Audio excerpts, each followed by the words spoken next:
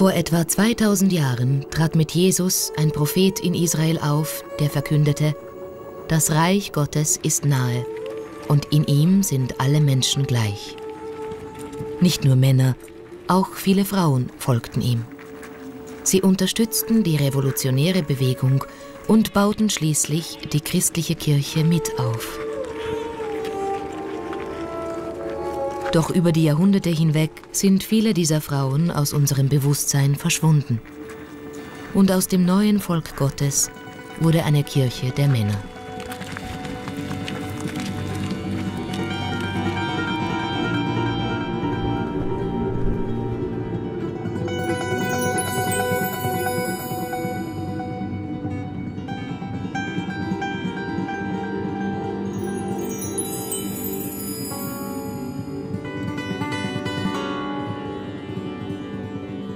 Dies ist die Spurensuche nach jenen verschwundenen Frauen, ohne die es das Christentum vielleicht gar nicht gäbe.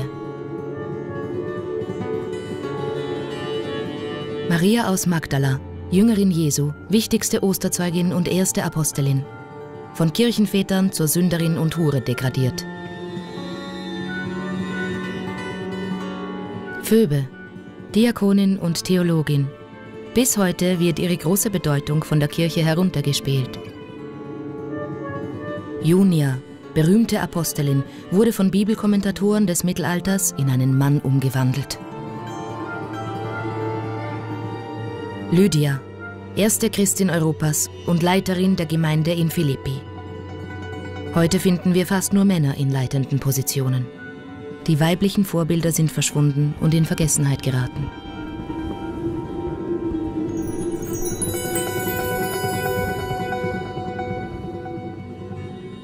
Inwiefern sind sie verschwunden? Sie sind natürlich nicht verschwunden, sie sind teilweise verdrängt worden.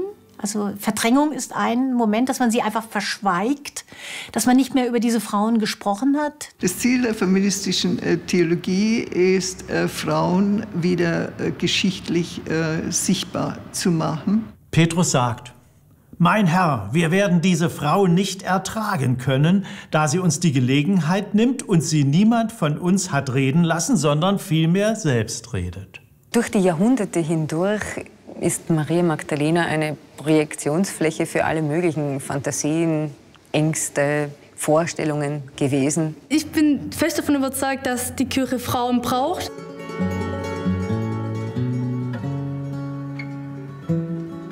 Was ist der Kirche durch das Verschwinden dieser frühchristlichen Frauen verloren gegangen?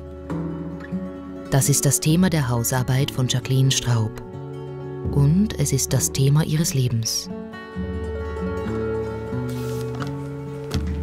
Mein großer Traum ist, Priesterin in der katholischen Kirche zu werden. Und ich glaube, in dem Beruf oder in der Berufung Priesterin kann ich vor allem in der Eucharistiefeier Jesus so nahe kommen wie in keinem anderen Beruf. Gibt es Vorbilder in der Bibel, auf die sich Jacqueline berufen kann? Und wie war Jesu Haltung gegenüber den Frauen?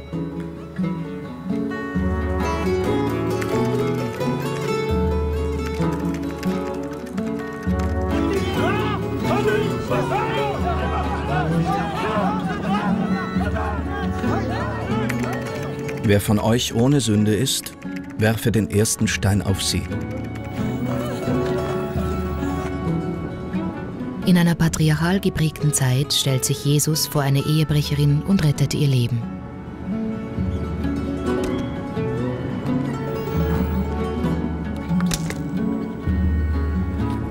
Die Geschichten der Evangelien sind keine historischen Tatsachenberichte, eher theologische Erzählungen mit hohem Symbolgehalt. Und sie vermitteln eine grundlegende Haltung Jesu gegenüber Frauen.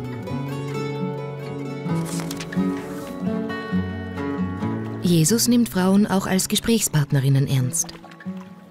Den längsten Dialog in der Bibel führt er mit einer Frau, der Samaritanerin am Jakobsbrunnen.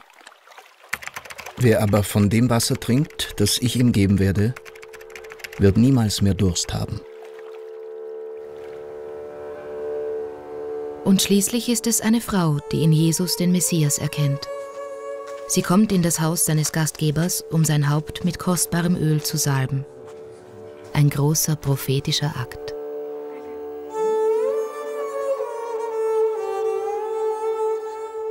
jüdischer Tradition, der Prophet äh, salbt äh, den Messias oder den König. Von daher hat das Markus-Evangelium eine ganz wichtige Funktion oder die Frau hat eine ganz wichtige Funktion im Markus-Evangelium, weil dadurch Jesus zum äh, Messias erklärt wird. Die Jünger erkennen die Bedeutung der Salbung nicht. Sie werfen der Frau vor, das teure Öl zu verschwenden. Jesus entgegnet ihnen, Überall auf der Welt, wo das Evangelium verkündet wird, wird man sich an sie erinnern. Doch was ist mit ihrem Andenken geschehen? Wir kennen den Verräter Judas. Wir kennen den Verleugner Petrus. Den Namen der Prophetin jedoch kennen wir nicht.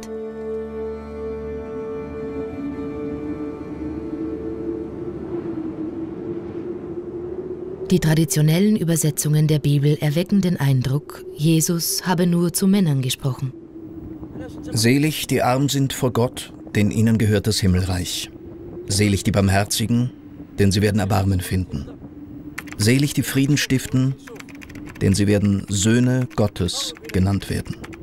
Wenn Jesus von den Brüdern spricht, dann muss man sich automatisch auch die Schwestern mitdenken. Und wenn er von den Söhnen Gottes spricht, automatisch die Töchter Gottes. Weil die damalige Zeit, die war einfach so geprägt, dass man von Männern spricht. Sie war einfach also ein männerorientiertes Weltbild. Es war eine männerorientierte Sprache. Spricht Jesus also zu seinen Jüngern, so müssen wir uns die Jüngerinnen dazu denken. Bedeutendste unter ihnen Maria aus Magdala.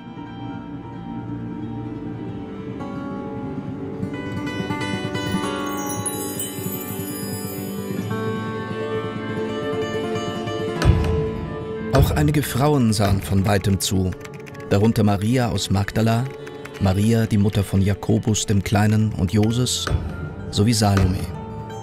Sie waren Jesus schon in Galiläa nachgefolgt und hatten ihm gedient. Noch viele andere Frauen waren dabei, die mit ihm nach Jerusalem hinaufgezogen waren.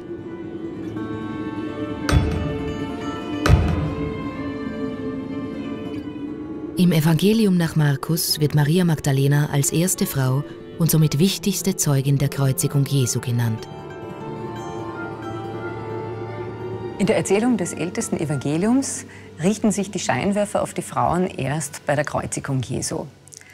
Aus demselben Evangelium wissen wir, dass nämlich die Männer der Jesusbewegung Jesus verlassen haben, im Stich gelassen haben, ihn verraten, verleugnet haben. Und darum richtet sich die Erzählstimme jetzt speziell auf die Frauen und sie werden vorgestellt. Aber aufgrund dieser Perspektive wissen wir auch, dass die Frauen die ganze Zeit präsent zu denken sind in dieser ganzen Geschichte des Evangeliums. Die österreichische Theologin Andrea Taschel-Erber hat ein umfangreiches Werk über Maria von Magdala und ihre Zeit geschrieben. Also für die Frauen war diese Anwesenheit in der Nähe des Kreuzes sicher riskant, da wir auch wissen aus, aus zeitgenössischen Quellen, äh, dass Sympathisantinnen und Sympathisanten mit demselben Schicksal wie der Gekreuzigte rechnen mussten.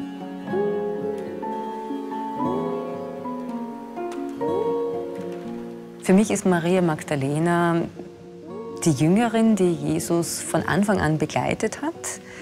Sie ist in einer Frauengruppe verortet, aber sie hat offensichtlich hier die, die wichtigste Rolle inne gehabt. Sie ist diejenige, die als Bindeglied auftritt von der Zeit des historischen Jesus hin zur Zeit des entstehenden Christentums.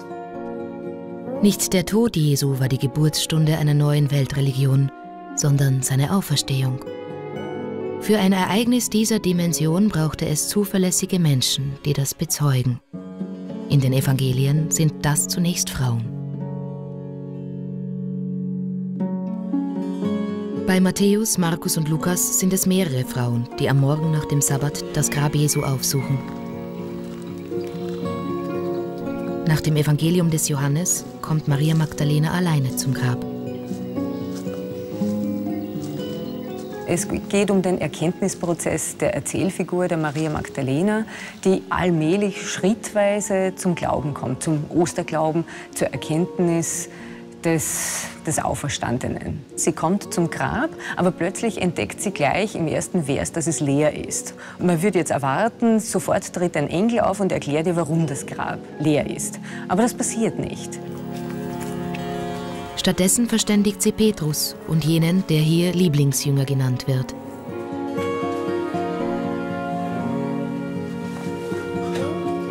Die Männer finden das Grab leer vor. Nur der Lieblingsjünger versteht die Zeichen.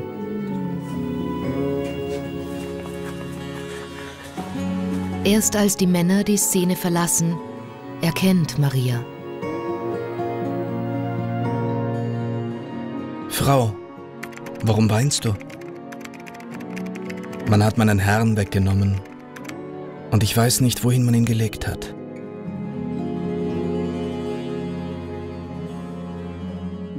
Sie sieht die Engel sind zwei. Und für die wissenden Leser und Leserinnen ist auch klar, äh, hier hat himmlisches Eingreifen stattgefunden. Aber für die Erzählfigur, das ist die Ironie an dieser Geschichte, an dieser Erzählung, äh, ist das überhaupt nicht klar. Sie bleibt in ihrem Missverständnis. Maria Magdalena muss sich erst vom Ort des Todes abwenden, um zu verstehen. Frau, Warum weinst du? Wen suchst du? Herr, wenn du ihn weggebracht hast, sag mir, wohin du ihn gelegt hast. Dann will ich ihn holen. Man sieht auch äh, diese Absurdität, die da immer stärker zum Tragen kommt. Ja, also sie, sie, sie spricht mit Jesus und fragt ihn, wo er seinen eigenen Leichnam hingebracht hat. Also das entbehrt auch nicht einer gewissen Komik. Ja? Aber erst als Jesus sie dann selber mit Namen anspricht, erkennt sie ihn. Und hier ist dann diese schöne Wiedererkennungsszene, äh, wo sie wirklich zur Erkenntnis kommt. Es ist Jesus, der mit ihr spricht. Maria, Rabuni, mein geliebter Meister.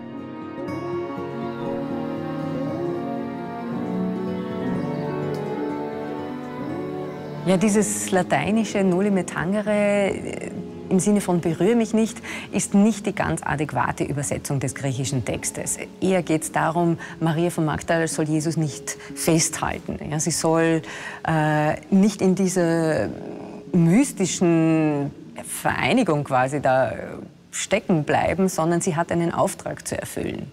Sie, hat, sie bekommt auch von ihm äh, den Auftrag, sie soll zu den anderen gehen und ihnen die Osterbotschaft, so wie sie im Johannesevangelium formuliert ist, nahebringen.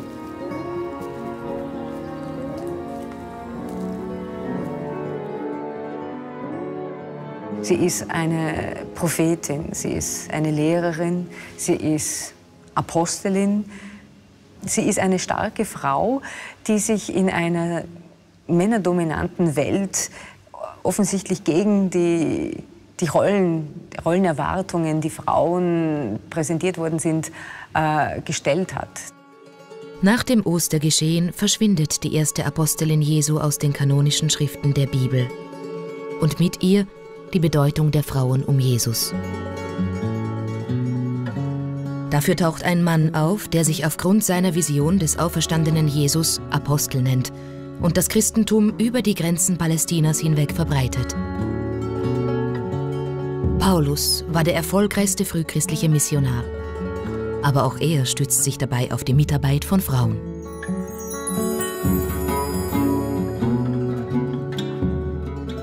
Seine zweite Missionsreise führt Paulus nach Europa. Die Apostelgeschichte erzählt, so brachen wir von Trojas auf und fuhren nach Samothrake und am folgenden Tag nach Neapolis.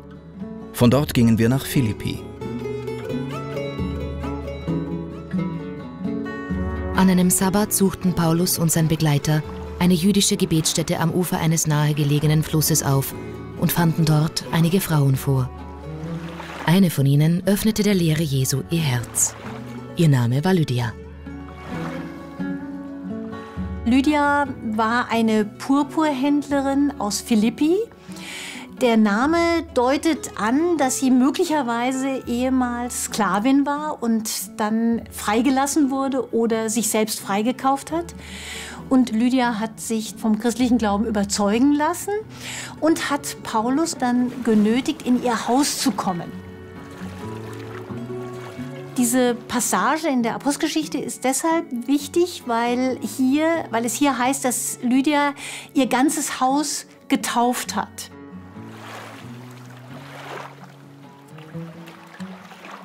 Der erste Mensch also, der sich in Europa taufen ließ, war eine Frau.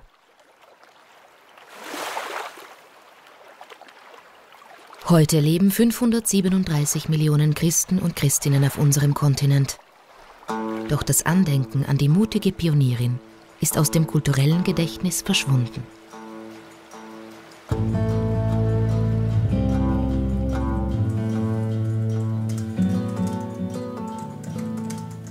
Seit den 70er Jahren des vergangenen Jahrhunderts arbeiten feministische Theologinnen daran, die verschwundenen Frauen der Bibel wieder sichtbar und greifbar zu machen. Frauen waren mobil, Frauen waren berufstätig, Frauen waren gemeindeaktiv. Äh, das lässt sich nicht nur im Neuen Testament beobachten, sondern äh, lässt sich auch in anderen antiken Schriften zeigen. In Inschriften wird das deutlich. Also diese, dieser Versuch, Frauen im Grunde in diese Mutter- und Familienrolle äh, zu äh, pressen, funktioniert einfach nicht, wenn man die Quellen ernst nimmt, wenn man das Neue Testament äh, mit neuen Augen liest. Eine seiner Missionsreisen führte Paulus nach Korinth. Von hier aus verschickte er viele seiner theologischen Botschaften so auch den berühmten Brief an die neuen Gemeinden in Rom. Man darf sich Paulus unter keinen Umständen als einsamen Briefeschreiber in einer Stube vorstellen, sondern Paulus war Missionar, er ist von Ort zu Ort gezogen, hat Gemeinden gegründet, hat äh, dort dann in den Häusern der Menschen gelebt, äh, die er auch vom Christusglauben überzeugen konnte. Grüßt Priska und Aquila, meine Mitarbeiter in Christus Jesus. Grüßt Maria, die für euch viel Mühe auf sich genommen hat.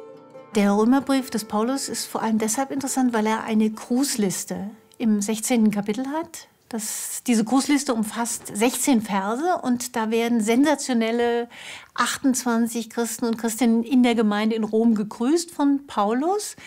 Und diese Grußliste würde man vielleicht erstmal denken, das ist ja langweilig, eine Grußliste ist uninteressant, aber diese Grußliste ist deshalb besonders interessant, insbesondere natürlich auch für die Gegenwart, weil hier ein Drittel Frauen gegrüßt werden.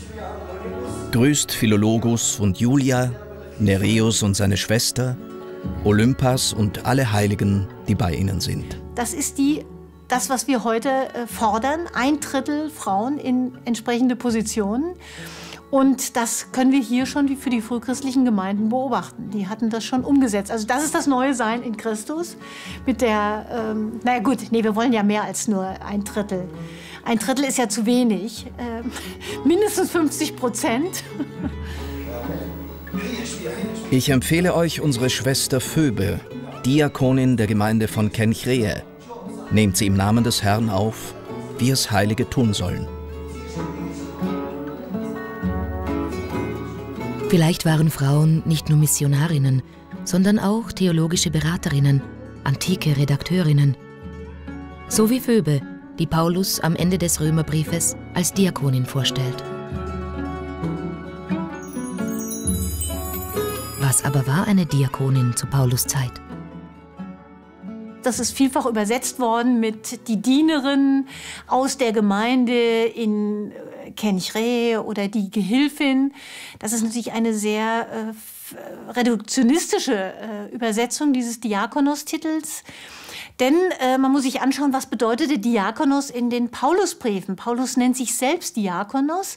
Diakonos bedeutete, dass man im Dienst ähm, der Verkündigung des Evangeliums tätig war. In diesem Fall war Phoebe die Überbringerin des Briefes an die Gemeinden in Rom, der Hauptstadt der damals bekannten Welt. Sie hatte das absolute Vertrauen des Verfassers. Grüßt einander mit dem heiligen Kuss. Es grüßen euch alle Gemeinden Christi. vielfach hat man die Idee oder die äh, Vorstellung, dass Frauen nicht allein gereist sind. Äh, das lässt sich soweit nicht verifizieren, denn wir wissen von vielen Frauen, äh, dass sie sehr mobil waren, dass sie sich vielfältig von A nach B bewegt haben. Äh, das ist von frühen Christinnen und Christen, also jetzt insbesondere von Christinnen, belegt äh, und Phoebe ist ein Beispiel dafür. Mehrere Wochen dauerte damals die Schiffsreise von Korinth nach Rom. Ein mutiges Unterfangen für eine Frau.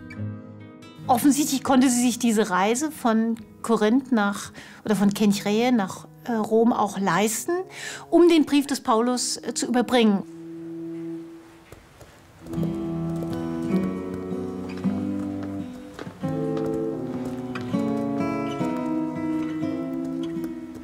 Wer Briefe überbracht hat, hat diese Briefe in der Regel auch interpretiert. Also sie hatte auch eine theologische Aufgabe in diesem Zusammenhang. Es ging nicht nur darum, dass sie den Brief äh, dort abliefert, sondern dass sie diesen Brief tatsächlich dann auch theologisch deutet, auslegt und äh, bei dem Verstehen des Briefes Hilfe leistet.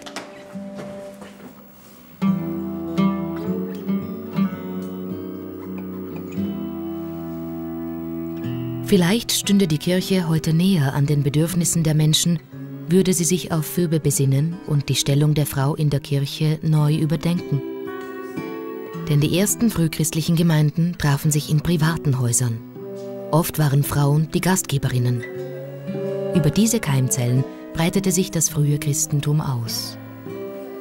Man kann sich diese ersten Gemeinden nicht klein genug vorstellen. Das waren einzelne Personen, äh, die vom Christusglauben überzeugt wurden, die dann ihr Haus öffneten für andere Christen und Christinnen.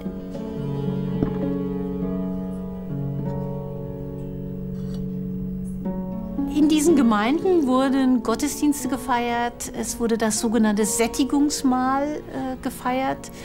Also das äh, frühchristliche Abendmahl war noch ein Sättigungsmahl. Man traf sich, um Gottesdienst zu feiern, aber auch um gemeinsam zu essen und zu trinken. Das zeigt auch dass, äh, diesen sozialen Aspekt der frühchristlichen Gemeinde. Da ging es nicht nur darum, dass man sich über eine Botschaft ausgetauscht hat, sondern es ging auch darum, dass man eine neue Gemeinschaft äh, geschaffen hat.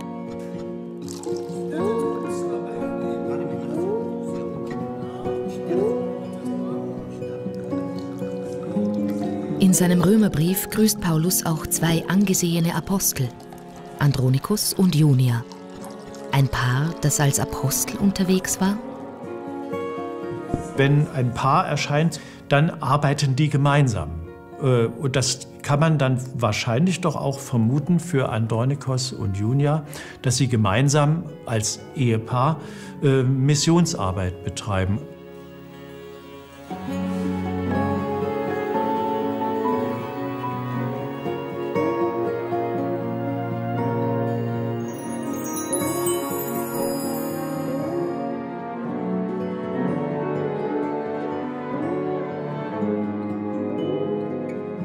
Apostel zu sein, ist etwas Großes.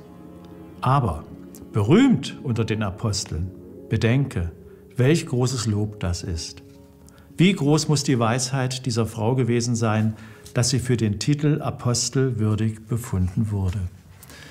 Das hat kein geringerer gesagt als Johannes Chrysostomus, ein bedeutender Lehrer in der alten Kirche, doch wer heute die Einheitsübersetzung der Bibel aufschlägt, findet im Römerbrief statt einer Apostelin Junia einen Apostel Junias. Wie kann das sein? Johannes Chrysostomus ging davon aus, dass Andronikos und Junia Mann und Frau sind. Auf der anderen Seite gibt es die sehr starke Tradition, dass die Apostel Männer sind. Der Zwölferkreis um Jesus, das waren Männer. Dass eine Frau Apostelin genannt wird, äh, das ist schon sehr auffällig. Die ältesten Abschriften der Bibel wurden in Großbuchstaben verfasst. Es gab weder Satzzeichen noch Akzente. Erst später, nach dem 10. Jahrhundert, hat man auch Kleinbuchstaben geschrieben und da begegnen dann Akzentuierungen. Man hat auch nachträglich Texte, die mit Großbuchstaben geschrieben worden sind, dann noch mit Akzenten versehen. wenn ich auf Junian den Akzent setze, einen Akut, dann ist zweifellos eine Frau. Und der Frauenname Junia ist nachgewiesen und zwar ziemlich häufig.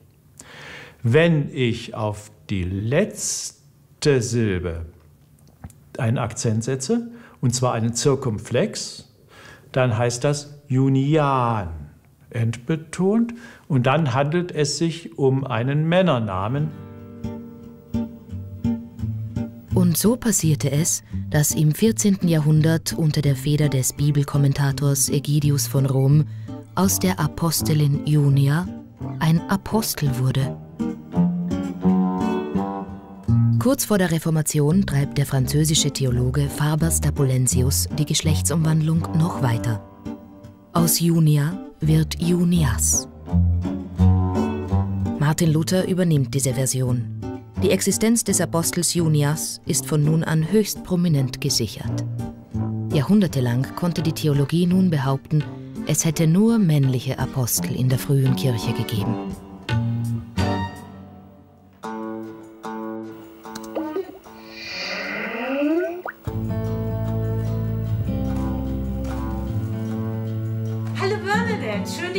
1977 deckt die amerikanische Theologin Bernadette Bruton die fatale Geschlechtsumwandlung der Apostelin Junia auf. Ja, was uns interessiert ist, äh, du hast 1977 herausgearbeitet, dass Junia äh, eine Apostelin im Neuen Testament bezeugt ist im Römerbrief. Wie hast du das herausgefunden? Ich habe sämtliche griechische und lateinische Inschriften untersucht aus der Antike, in dem der Name Junia vorkommt und habe festgestellt, dass der Name Junia ungefähr 500 Mal vorkommt, der Name Junias hingegen überhaupt nicht. Und ähm, du hast ja Egidius von Rom äh, namhaft gemacht als denjenigen, der das dann definitiv verändert hat. Was hat den Augustiner-Eremit dazu veranlasst, aus dieser Frau einen Mann zu machen? Ja, es war das Resultat eines männerorientierten Weltbildes. Eine Frau kann einfach kein Apostel gewesen sein. Und weil keine Frau ein Apostel gewesen sein kann, kann die Frau, die hier Apostel genannt wird, keine Frau sein. Und deshalb fristet Junia in der Einheitsübersetzung der Bibel bis heute ein verfälschtes Dasein als Mann.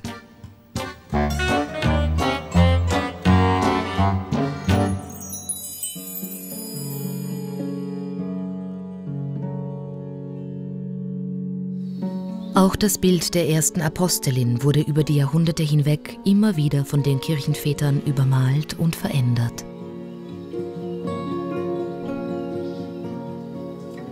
Die Überlieferung, dass Maria Magdalena als erste den Auferstandenen gesehen hat und von ihm den Auftrag bekommen hat zur Verkündigung, ist natürlich eine Geschichte, die in der damaligen Gesellschafts- und Weltordnung provokant war, ja, subversiv könnte man sagen.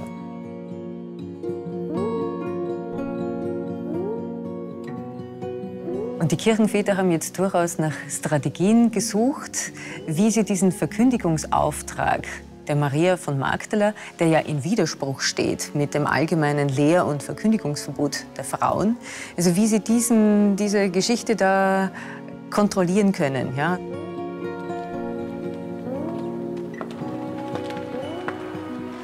Und da gibt es eben bestimmte Strategien. Und eine davon ist, Maria von Magdala in Verbindung zu bringen mit Eva, mit der ersten Frau, die die Sünde, den Tod in die Welt gebracht hat und zu sagen, ähm, das, was am Ostermorgen passiert, ja, das ist etwas, äh, was daran liegt, dass die Frauen diese, diesen ersten Sündenfall wieder gut machen mussten ja, und dieses, dass die Heilsgeschichte wieder ins Lot kommt, ja, eine Reparatur passiert.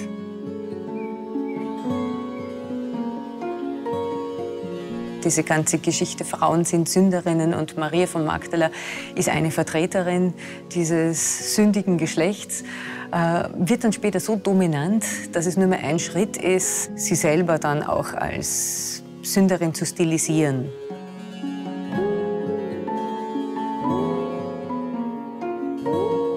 Für Maria Magdalenas Verwandlung wurde aus drei biblischen Frauen eine. Um 600 nach Christus erklärt Papst Gregor der Große in einer Predigt, dass Maria von Bethanien, die Jesus nach dem Johannesevangelium die Füße gesalbt hatte, dieselbe Person sei wie die stadtbekannte Sünderin des Lukasevangeliums und setzt diese beiden Frauen schließlich mit Maria aus Magdala gleich. Sie wird zur Propagandafigur der Kirche, eine reuige Sünderin, die Jesu Füße mit jenen Ölen salbte, die sie einst zur Pflege ihres sündigen Leibes verwendete.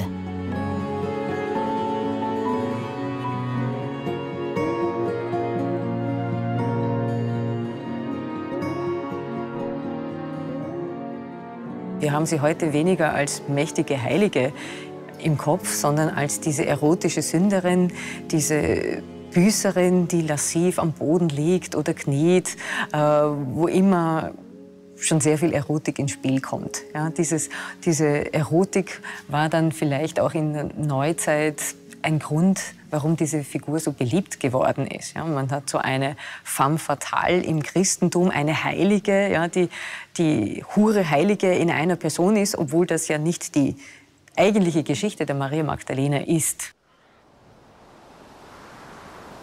Wo die Geschichte Leerstellen hinterlässt, ist Raum für Legenden.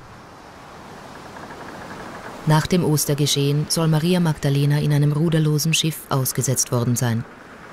Der Wind habe sie an die Küste Frankreichs getragen, wo sie 30 Jahre lang in einer Höhle Buße tat für ihr sündiges Leben. So erzählt es die Legenda Aurea, eine Sammlung von heiligen Legenden und ein Bestseller des Mittelalters.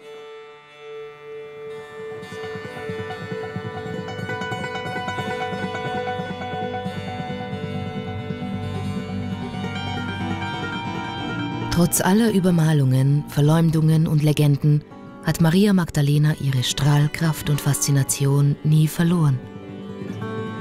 Vor allem für Frauen. Also für mich ist Maria Magdalena die Vorreiterin. Also sie ist, für mich zeigt sie einfach, dass sie als Frau in, bei und mit Jesus dabei sein konnte sie ist für mich ein ganz, ganz großes Vorbild, um auch den Frauen, die heute diesen Wunsch haben und im Herzen das verspüren, nicht aufzugeben. Weil sie war mit dabei und Jesus hat sie akzeptiert und aufgenommen. Sie war extrem wichtig für Jesus und darum denke ich auch, dass es an der Zeit wäre, was zu ändern in der Kirche. Und den Frauen die Türen für wichtige Ämter und Positionen endlich zu öffnen.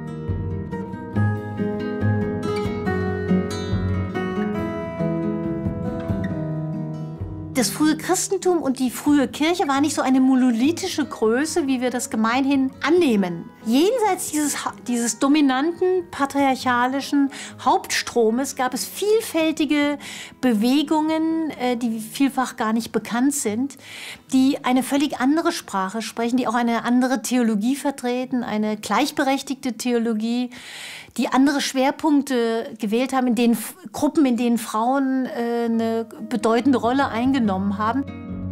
Über viele Jahrhunderte hinweg diskutierten Kirchenväter, welche Schriften in die Bibel aufgenommen werden und welche nicht. Die Bibel ist so gesehen eine Schrift der historischen Sieger.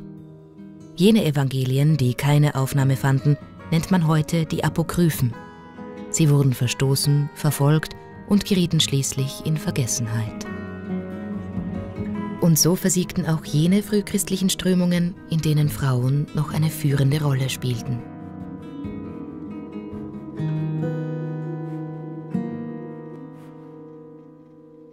(1896) taucht Maria aus Magdala wieder auf. In Kairo. Als Figur einer koptischen Papyrusschrift aus dem zweiten Jahrhundert. Ein deutscher Gelehrter kaufte die Schrift, deren Heimat heute das Ägyptische Museum in Berlin ist. Nur zu besonderen Anlässen holt Restaurateurin Miriam Krutsch den lichtscheuen Papyrus aus den Archiven.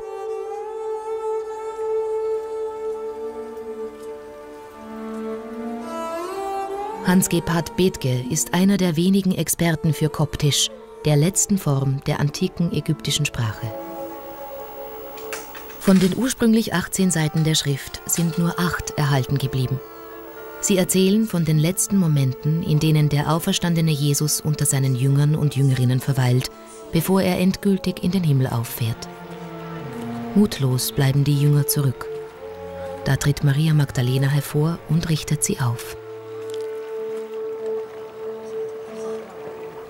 Moment, ist nicht so einfach zu lesen. Doch, Emperime äh, weint nicht, avo emper erlypei, seid nicht betrübt, seid nicht traurig und zweifelt nicht oder seid nicht zwiespältig. Äh, sozusagen Maria ergreift die Initiative und dann müsste die Fortsetzung eigentlich jetzt auf, auf, äh, auf der Seite 10 kommen.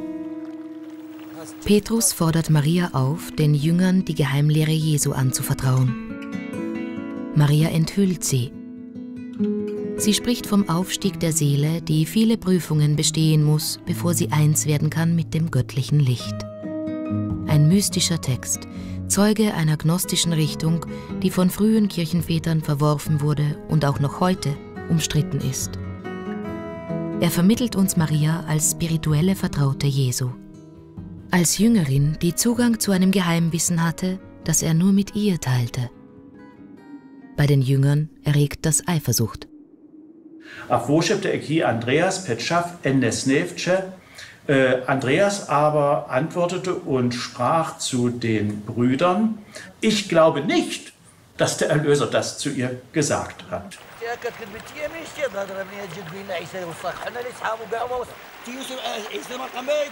Und dann, dann wird es noch, noch interessanter. Dann sagt, dann sagt Petrus, äh, ja, hat er denn mit einer Frau heimlich gesprochen? Und sollen wir etwa alle umkehren? Sollen wir etwa auf sie hören? Hat er sie uns ja, bevorzugt, könnte man, könnte man sagen?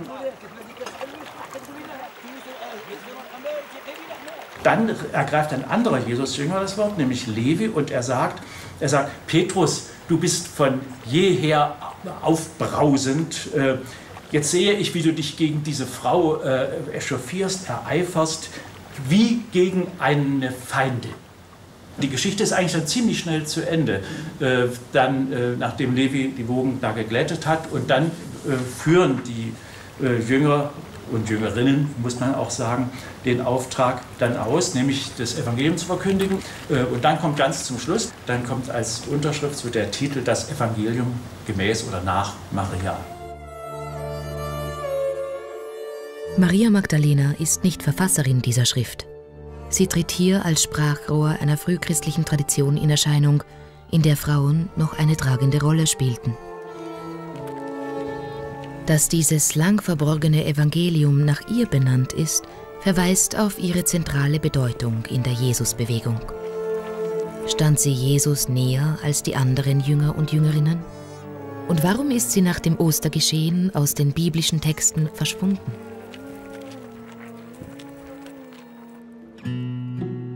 Jesus sprach nie von Ämtern in seiner Bewegung. Er verkündete das Reich Gottes. Seine Vision war die Gleichheit aller Menschen. Dennoch behauptet das Lehramt der römisch-katholischen Kirche, dass Jesus nur Männer in seine Nachfolge berufen hat. Und das ist historisch, theologisch total falsch. Und kein Wunder, dass die Leute dann aus der Kirche austreten, weil sie äh, nicht mehr glauben können oder weil sie einfach nicht verstehen, warum äh, diese Theologie gepredigt wird, die nicht stimmt. 50 Jahre nach dem Zweiten Vatikanischen Konzil ist es Zeit, aus kirchlicher Erstarrung zu erwachen, lautete das Motto der konziliaren Versammlung progressiver Christen und Christinnen in Frankfurt. Auch Jacqueline Straub ist unter ihnen, in der Hoffnung, die Pionierin der feministischen Theologie kennenzulernen – Elisabeth Schüssler-Fiorenza ist eigens zu einem Podiumsgespräch aus Amerika angereist. Wir sind zusammengekommen, weil wir wissen, wenn eine alleine träumt, dann ist dies nur ein Traum. Wenn viele gemeinsam träumen, dann ist das der Beginn, der Beginn einer neuen Wirklichkeit. Träumt unseren Traum. Ich bin Jacqueline Straub und ich habe eine Frage an die Frau Professorin. Was würden Sie einer jungen Theologiestudentin sagen, die Priesterin werden will in der katholischen Kirche? Ich würde einer jungen Studentin raten, erstens ähm, gute Beziehungen zu Rechtsanwältinnen zu bekommen und das Grundgesetz einzuklagen. Äh, solange die Kirche Kirchensteuer äh, einnimmt, äh, sollte sie die Gleichberechtigung von Männern und Frauen anerkennen. Äh, zweitens würde ich Ihnen raten, äh, feministische Theologin zu werden. Viele Frauen des Frühchristentums sind aus der Bibel verschwunden. Die feministische Theologie hat sie wieder sichtbar gemacht. Die Pionierin kann sich heute freuen. Ihre Vision wird nun von der jungen Generation weitergetragen. Es haben schon viele Leute zu mir gesagt, ja, wenn du den Wunsch hast, Priesterin zu werden, dann geh doch einfach zu den Protestanten. Da, da ist es ja kein Problem. Aber ich sage da klar und deutlich nein. Ich bin katholisch und ich werde katholisch bleiben. Ich habe den Wunsch, dass man in der Kirche was bewegt und nicht von außen.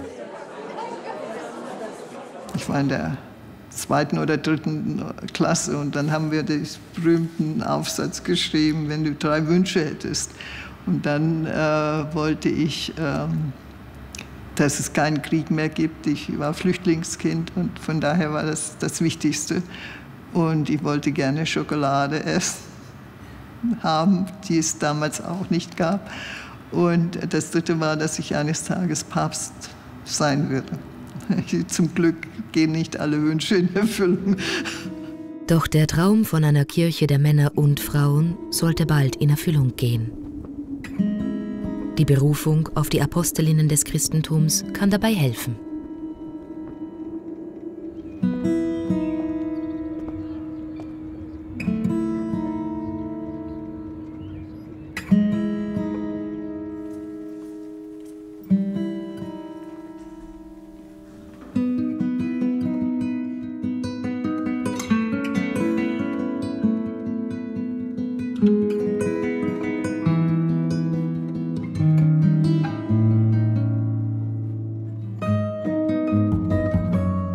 Ägyptischen Museum in Berlin ist endlich das neu restaurierte Evangelium der Maria Magdalena ausgestellt. Es ruft eine große Apostelin in Erinnerung.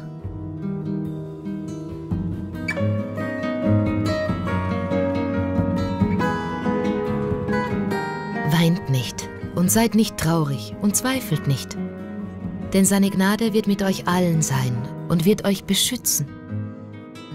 Lasst uns vielmehr seine Größe preisen, denn er hat uns bereitet und zu Menschen gemacht.